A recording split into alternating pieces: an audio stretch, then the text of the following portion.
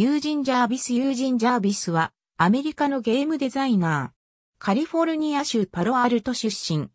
当たりのワイドフリッパーピンボールのデザイナーだったが、大手メーカーを圧倒できなかったため短期間で、ピンボール事業が打ち切られたので退職、ウィリアムスに転職する。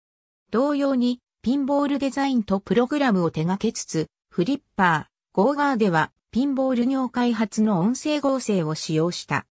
この技術力が引き金となった同社のテレビゲーム再参入では、スクロール式、シューティングゲームとしては、世界初のディフェンダーを発表。これで翌年ゲームオブザイヤーを受賞する。